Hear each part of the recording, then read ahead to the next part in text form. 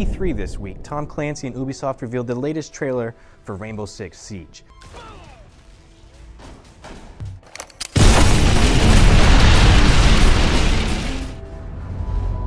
Revolving around an elite group of multinational counter-terrorists, good teamwork means choosing the right gun for the right situation. I've been a long-time fan of the franchise, known for their real-life tactics and tense gameplay. And for Siege, it looks like Ubisoft's turned everything up to 11.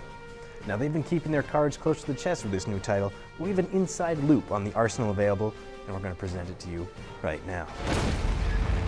Assault rifles, a staple in any unit. Your best bet when dealing with unknown quantities. Range, speed, power, and most of all, situational versatility. First up, prominent in the game has been the G36C.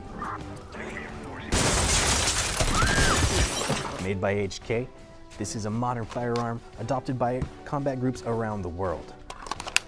This is a fully licensed model. These are being phased out in recent years, which means soon this might become a collector's item. Also featured in the game is the G3, the G36's grandfather.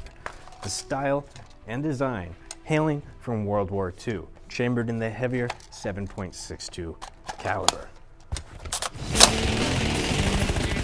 This gun is ideal for when range and power is your priority.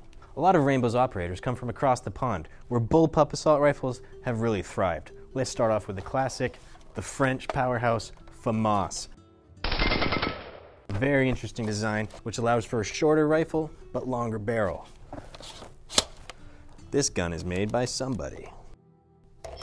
With its telltale folding out bipod and blistering 1100 RPM blistering RPM. That's Nav being a dick. The L85 is not the prettiest girl at the party, but she makes up for it with durability, tin can like construction, and accuracy unparalleled.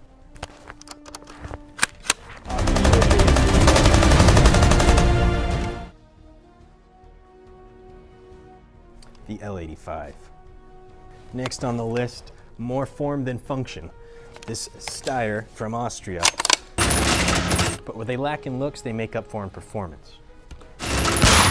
Unfortunately, I don't have time to go over all of the guns we have here at Hobbytron today, but check back next week where I'll go over the SMGs, pistols, and shotguns all featured in the game. If you're chomping at the bit for some hostage rescue action, stop over at Hobbytron.com and get your hands on some of the guns from the game. Perhaps an angled foregrip or at least a rail guard to make it a little more comfortable if you're not wearing gloves out there.